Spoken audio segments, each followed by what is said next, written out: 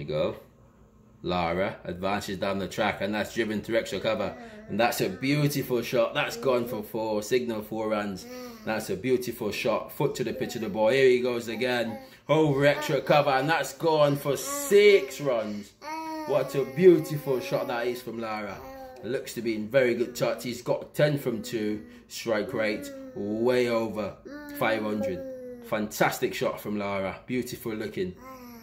And Lara looks in good touch. He's in bowl. And Lara sweeps down two. Back with a square. That's going to run away. Four runs. Mikey, your thought? Well, absolutely, in my point of view. Fantastic shot. In again, bowl to Lara. Lara goes over extra cover. This one is bigger. Here she goes. Here she goes. Over extra cover. And a massive six. Bumble, your thought? Well, absolutely great cricket from the big man. He's from the West Indies. The Prince of Trinidad looks in really good touch. Here he is once again. Ball to Lara goes over the top again, over mid wicket. That's gonna go for six oh, runs. Oh, what a beautiful shot from the Prince of Trinidad and Tobago and the West Indies. Brian Lara looks really good touch today. Very good shot. Zion gonna signal that one. That's a magnificent six. And Lara looks really good. He's on fire at the minute for West Indies. He's already gotten 26 from the over.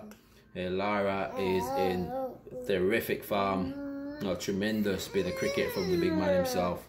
Lara looks really good. There he's in bowl. Lara goes down the wicket. Uh-huh. And that's a dot ball. Uh-huh. Oh, beautiful. Beautiful over for the West Indies. 119 for one. Lara is on 26. Uh-huh.